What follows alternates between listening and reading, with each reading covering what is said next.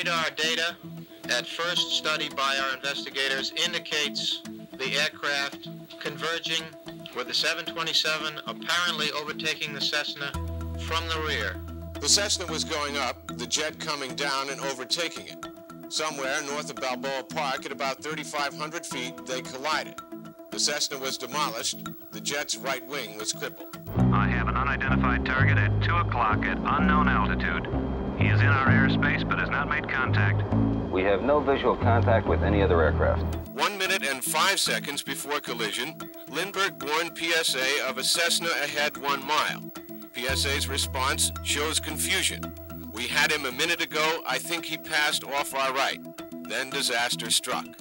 And the plane started heading right towards us, and um, all five of us were really scared that it might, you know, hit us.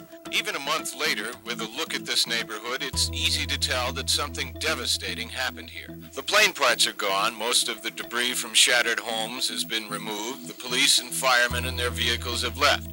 But the sensation of tragedy lingers. The curious, the sightseers drive through in cars or stroll the sidewalks at the site of the nation's worst air disaster.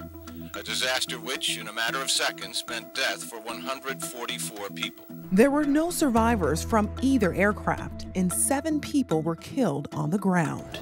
More than 200 friends and relatives of PSA pilot Jim McFeron gathered. The pastor of McFeron's church offered words of sympathy and remembrance for the 42-year-old pilot. He loved the sky.